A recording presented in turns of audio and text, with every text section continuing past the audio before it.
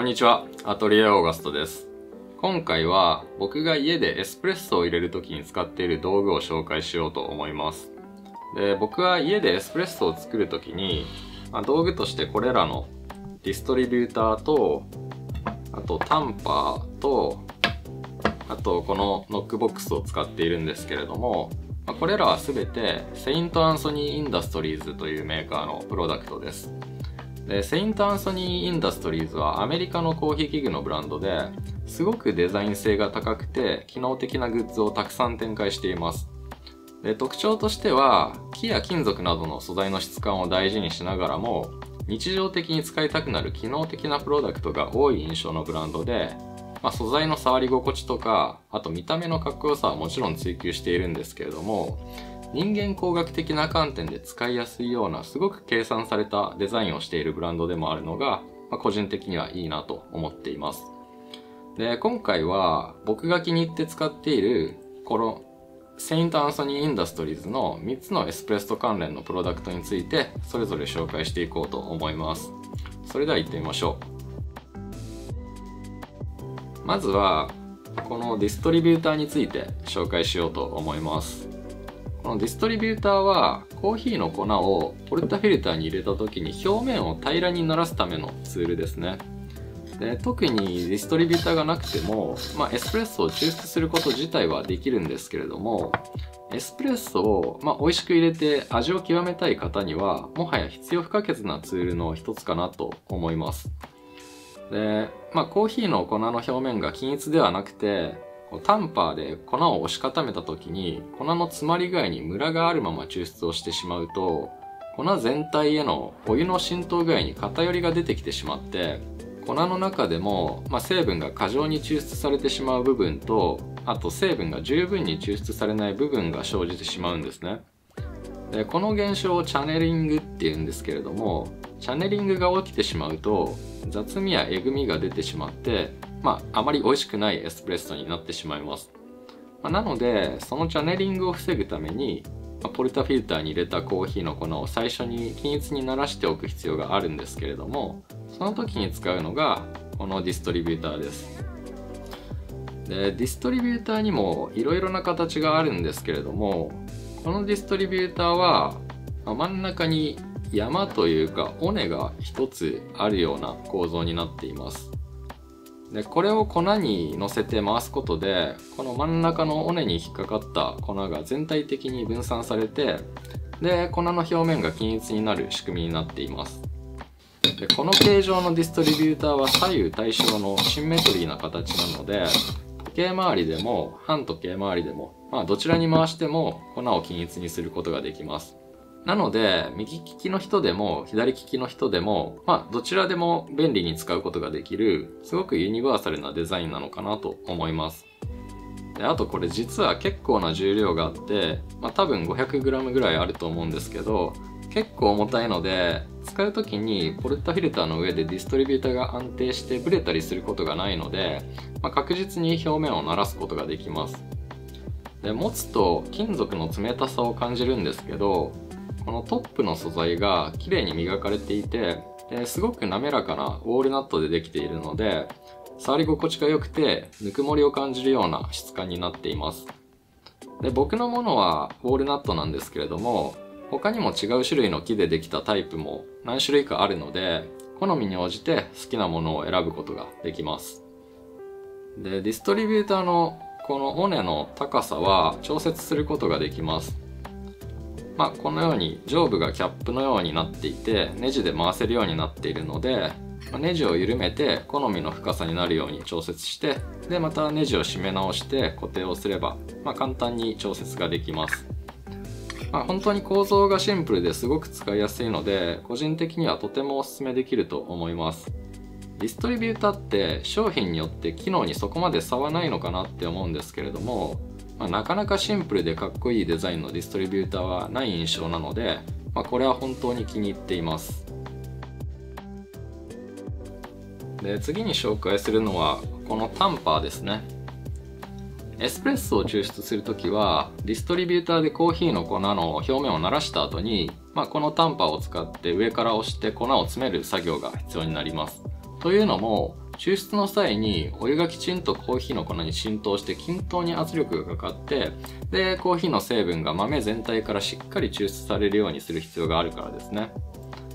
でこのタンパーを使わずに粉を固めない状態で抽出をしようとすると、まあ、お湯を通した時にコーヒーの粉に圧力が十分にかからないのであの成分が抽出されないままお湯だけが通過する形になってしまって本当に水っぽい薄いエスプレッソになってしまいます。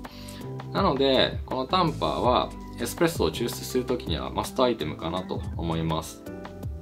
でタンパーって、まあ、構造的にシンプルなプロダクトなので正直商品によって機能に差はほとんどないんですけれども、まあ、僕がこのセントアンソニー・インダストリーズのタンパーを気に入っている理由は2つあります。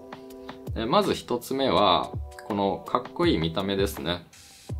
まあ、この持ち手の部分はウォールナットでできていて、まあ、とても丁寧に磨かれていて表面が、まあ、本当に滑らかすぎるぐらいなのでずっと触っていたくなるぐらい質感がいいです。でこの木と金属の継ぎ目部分もすごくシームレスで本当に無駄がないので完璧なデザインだと思ってますし、まあ、これただ置いておくだけで佇まいが美しいので眺めているだけでも嬉しくなります。でこの持ち手の上部には真鍮が埋め込まれていて、まあ、デザイン的なアクセントにもなっています、まあ、多分使っていくうちに経年変化で色も変わってくると思うので、まあ、育てるように長く使えると思います。で2つ目の理由はこの持ちやすさですね。すごくクラシックなデザインのタンパーなんですけれども、まあ、持った時にすごく手にフィットして持ちやすいのでなんかずっと持っていたくなるんですよね。で人間工学的にも考えられてデザインをされているみたいなのでタンピングしている時にも手の感覚がすごくしっくりくるような形になっていると思います。でこれも木の種類はウォールナット以外にも何種類か選べますしデザインや機能性の面で、まあ、先ほど紹介したディストリビューターとの相性もとてもいいと思うのですごくおすすめです。最後に紹介するのはこちらのザ・ブロックっていうプロダクトなんですけれども、これはノックボックスとタンピングステーションの2つの機能を兼ね備えた本当に便利な道具です。で、構造としては、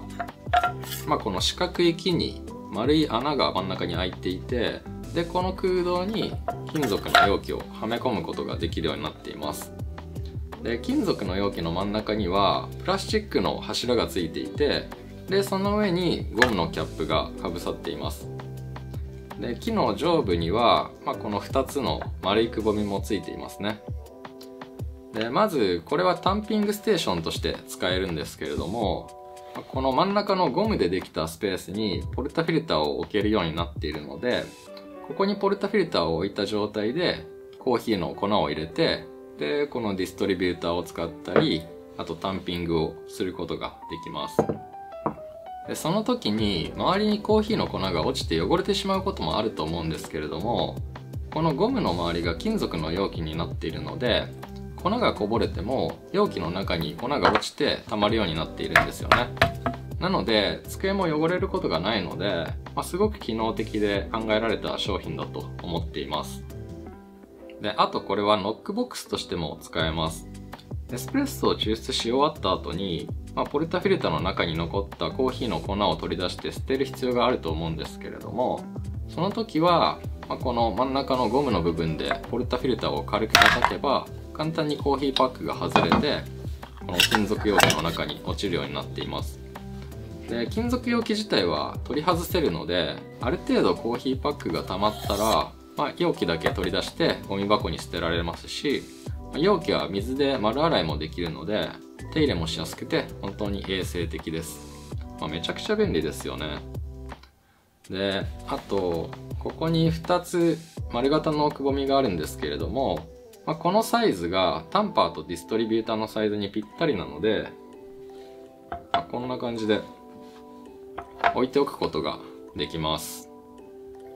で、まあ、僕のタンパーとディストリビューターの直径のサイズが 58.3mm なんですけど多分ですけど 58mm 台までの直径のものなら問題なく置いておくことができると思います、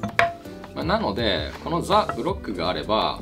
この上だけでエスプレッソの準備とか片付けがほぼ完了するっていう、まあ、本当に究極にミニマルで機能的なプロダクトなので、まあ、これはしばらく使っていますけど本当に気に入っていて今のところ文句のつけようがない商品だなと思っています。でちなみに僕の持っているものはこの木の部分がウォールナットでできているんですけれども他の種類の木でできたものも選べます、まあ、デザインがスタイリッシュでかっこいいですし使うたびに気分が上がるので家でよくエスプレッソを作る方にはぜひおすすめしたいです。